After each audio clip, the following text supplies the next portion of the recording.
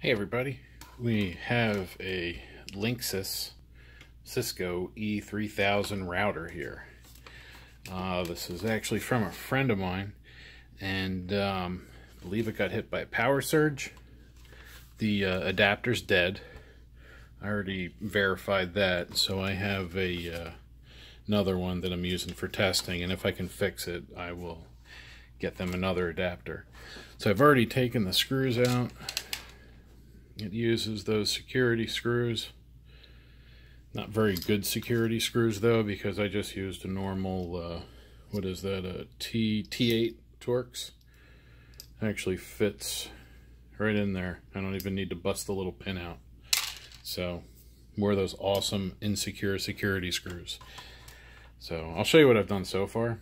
I have a, uh, a switch hooked up uh, to this so I should be getting some sort of light on port 4 if it's seeing it, but it's not. Uh, I can show you just using a uh, an old 10100 port or switch. It's coming out. We should see uh, see, let me get the right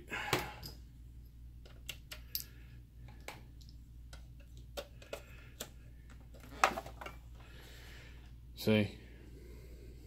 So that means I should, between there and here, should have the same thing and I don't. You can see we have nothing on that end. So that tells me that this thing isn't booting up. And plus, the way that's flashing, I don't even know if you guys can see that. It's really dim. So anyway, I'll show you what I found so far. Unplug that and get it out of the way. There's the capacitor on the 1.28 side. The C52 right here. That drives one of the radios, power to the radio. And this one is, I don't know if you can make that out, but it's kind of bloated.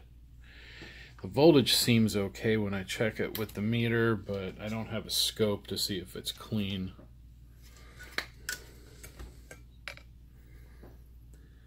Like I said, I think most of it is okay. So you got 5 volts, 3.29, 1.24, and 1.3. I want to change that.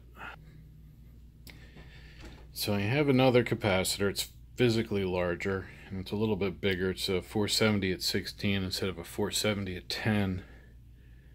But this is a, uh, trying to remember the brand, but it's a real brand instead of that one. So let's get the power cord out and let's get the board out so we can unsolder and replace that.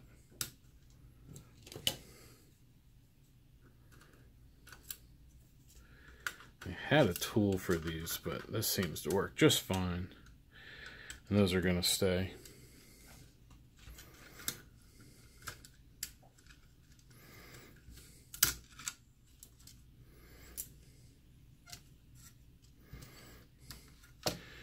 See if there's anything on the bottom that looks bad. I don't see anything obvious, no blown off traces. Just some dirty uh, flux. That's fine. So that's this one right here.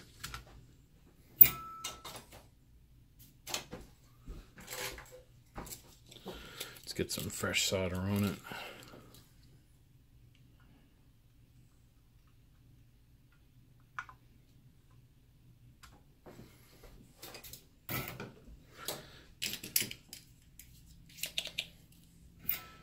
Then we'll get the solder pump.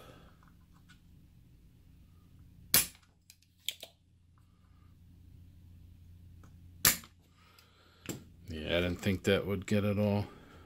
Hey, it's loose though. Let's uh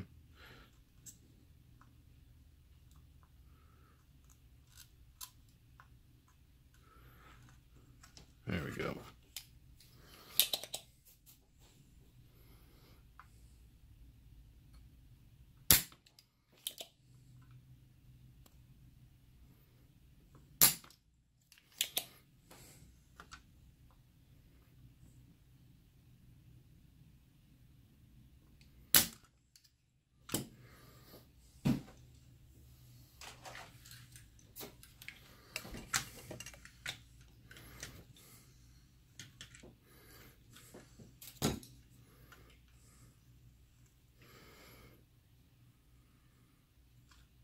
There we go.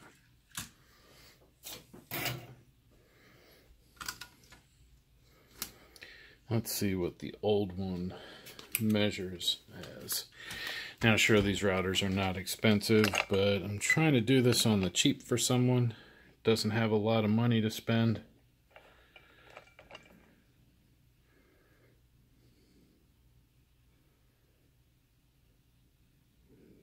Seven hundred and seventy microfarad. Without any load, I imagine the ESR is pretty bad. Yeah, it's supposed to be 470 at 10. So who knows? Bottom's all puffy, top's puffy. Not good.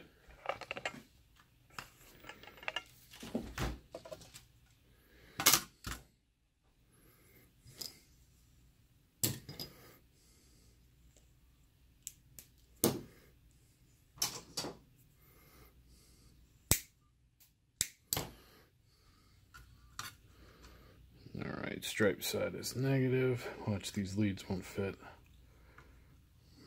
Yeah, they're tight. Well, they will go through though. Just got to get them straight.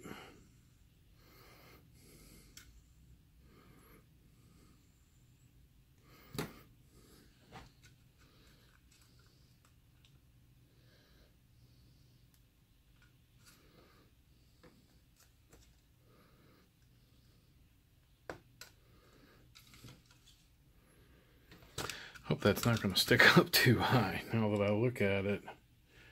Physically, it might be too tall. Let's see, will that hit it? Hell yeah.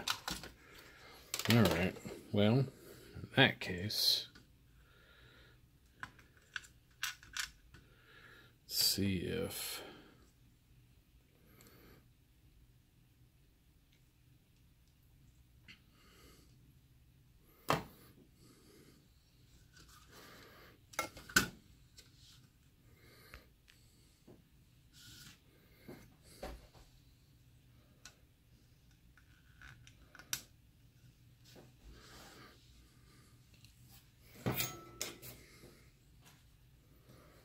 I'm glad I checked that before soldering it.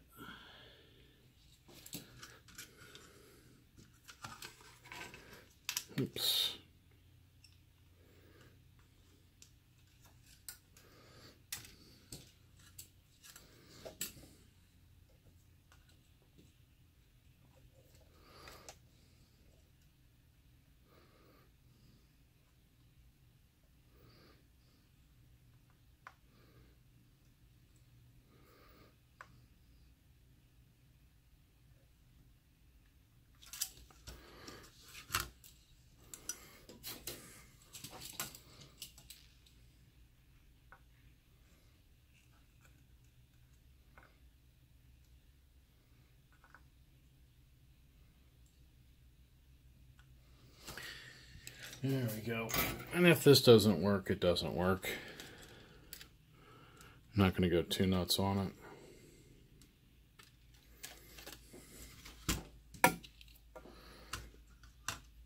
I have a couple spare routers I could even give them if I need to, so we'll see. Hopefully it works though, because it would be pretty cool.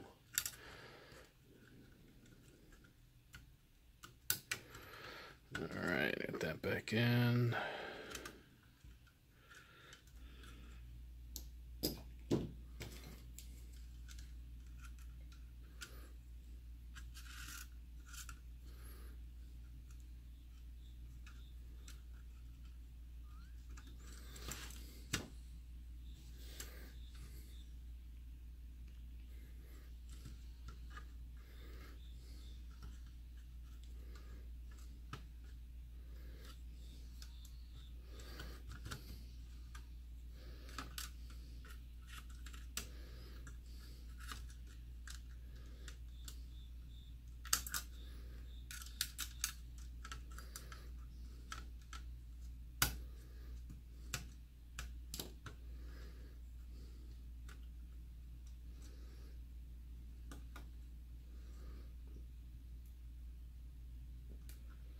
There's the 5G,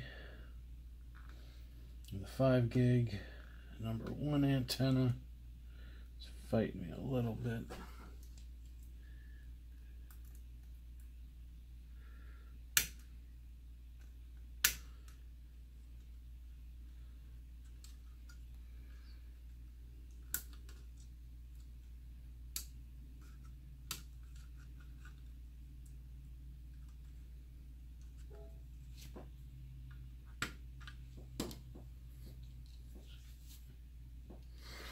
All right. So that looks good. Everything's back in.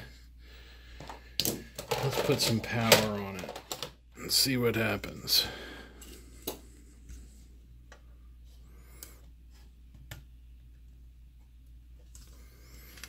Hey, see that? Flashing lights.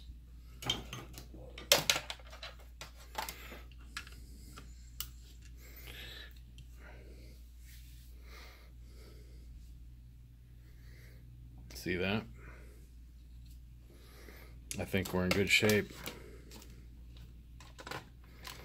I'll do a uh, full reset on it and then set it up. But uh, according to my other phone, I'm seeing the Wi-Fi network now. So I think, of course it doesn't have internet, I think we're good to go. Wi-Fi lights on, power LED solid, that's flashing because it's pinging the little switch I have here. So there you go. If uh, your Linksys E3000 gets hit by lightning or a power surge, and you see a bloated cap for the 1.284 line, change it out. It's funny. That took the whole thing down that little, I don't know, two cent piece. I pulled this out of something else, used but good. I measured it, I checked it with the fluke, and it was fine. Well, let's see what the voltage is now. See if it's closer, if it's under 1.3, because that was over 1.3.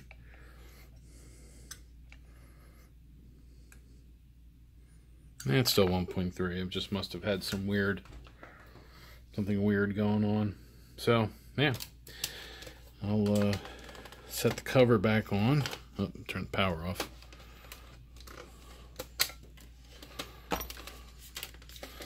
Snap the uh, top back on.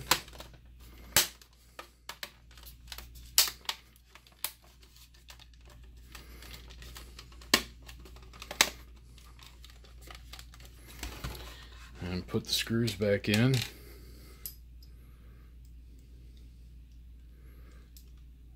And then I will find a uh, 12 volt 2 amp adapter to send along with it when I send it back to my friend.